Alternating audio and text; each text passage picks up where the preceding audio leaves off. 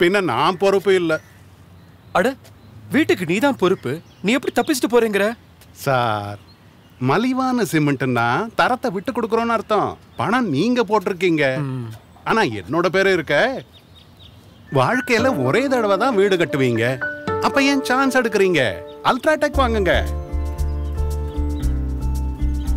இப்ப அல்ட்ராடெக்கே வாங்கிடுவோம். நல்லது. வாங்க காட்டுறேன் உங்களுக்கு. சான்ஸ் எடுக்காதீங்க. அல்ட்ராடெக் வாங்குங்க. அல்ட்ராடெக் தேசத்தின் நம்பர் ஒன் சிமெண்ட்